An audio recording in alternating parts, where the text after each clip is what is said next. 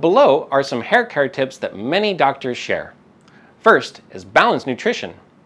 You need to supplement your diet with foods rich in protein, vitamins, minerals, and things like omega-3 fatty acids. Nutrition is essential for nourishing healthy hair. Second is stress management. Stress can contribute to hair loss.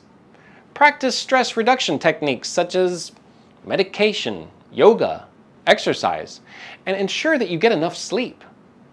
Third is proper hair care. Limit the use of high heat when you blow drying or styling your hair, and avoid using styling products that contain harmful chemicals. Fourth is using natural hair oils and professional hair care products to prevent hair loss and stimulate hair growth. This will help keep your hair soft and smooth. Many doctors recommend the Alika hair restoration system because they are highly effective in preventing hair loss and caring for your hair.